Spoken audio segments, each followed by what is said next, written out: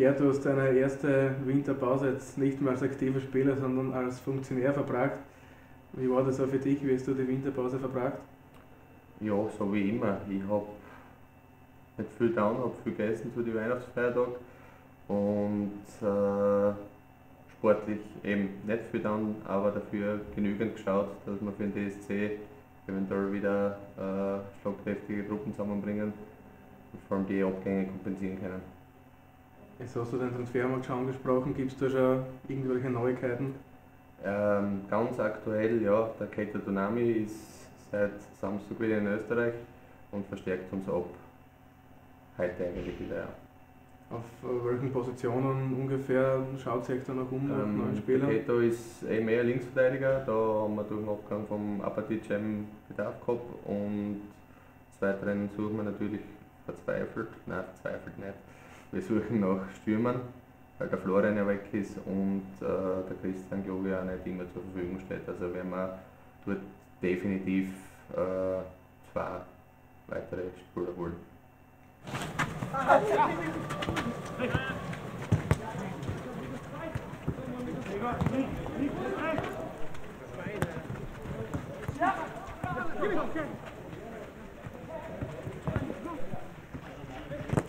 Jetzt fliegt ihr Mitte Februar in die Türkei zu einem Trainingslager. Was erwartet ihr euch von der Woche unten?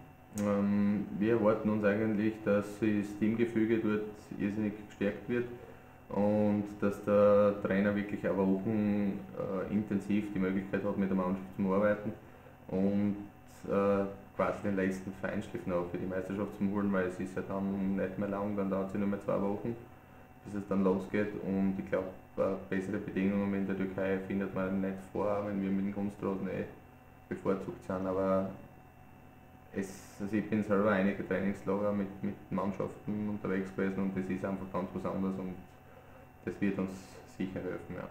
Also als Ziel vor der Saison nicht abzusteigen, hat sich an dem irgendwas geändert? Nein, das Ziel besteht weiterhin.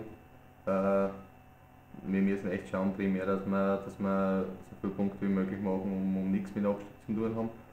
Und vielleicht ein kleines Zubrot, das wir ausgeben, ist, äh, wir wollen weiterhin das beste steirische Team bleiben.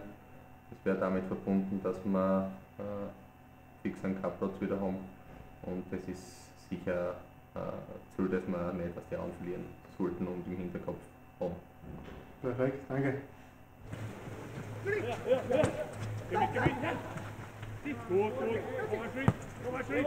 Schön, schön.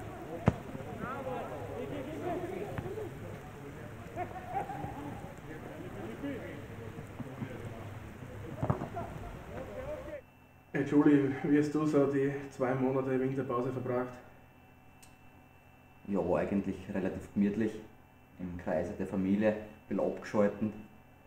Und ja, über Weihnachten war ich daheim, habe ich auch Urlaub gehabt. Ein bisschen trainiert natürlich, Hallenturniere gekickt. Und ja, einmal weg vom Fußball, vom richtigen Vereinsfußball, eher gemütlich. Gibt es irgendwas, das du über den Winter so richtig vermisst hast am Fußball? ja, lieb Claudia. Nein, Scherz. Ja, die Mannschaft einfach, ich glaube, wir haben über das ganze Jahr immer ziemliche Gaude. Das fällt natürlich. Aber ja, es war schön einmal weg sein vom Ganzen.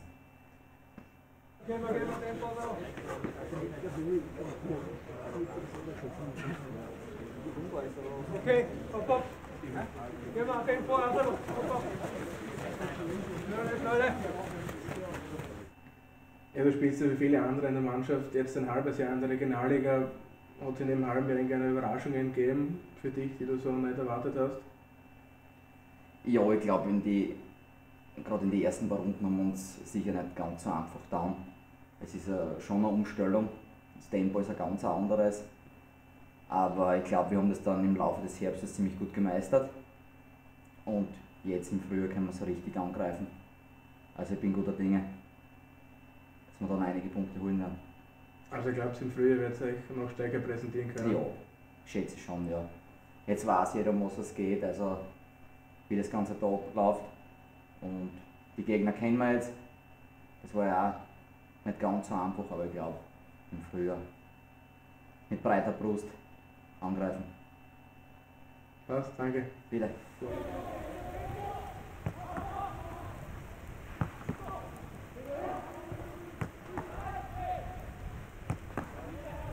Ja, Pascal, du hast dich ja kurz vor der Winterpause verletzt. Wie ist es dir nachher gegangen mit der Verletzung? Wie geht's dir jetzt? Eigentlich wieder sehr gut. Also ich habe diesmal vier Tage nach der Verletzung eigentlich schon wieder mit dem Radfahren begonnen und ja, jetzt eigentlich die Pause gut genutzt, um wieder fit zu werden und schaut im Moment sehr gut aus. Worauf freust du dich jetzt wieder im Frühjahr? Aufs Mannschaftstraining jetzt vor allem, weil jetzt habe ich zwei Monate eigentlich nie mit der Mannschaft, also nicht mit der Mannschaft trainiert und ja, heute war es endlich wieder soweit und die Spiele natürlich, aber das dauert leider noch acht, neun Wochen. Jetzt bist du ungefähr ein halbes Jahr in Deutschlandsberg. Wie ist es durch bis jetzt so eingelebt? Wie gefällt es dir da? Hm, Sehr gut aufgenommen worden, wie denke ich, die anderen Spieler und eigentlich gefällt es mir sehr gut. Sind alle, so die ein, den einen oder anderen kenne ich ja schon etwas länger und gefällt mir eigentlich sehr gut hier. Passt, danke sehr.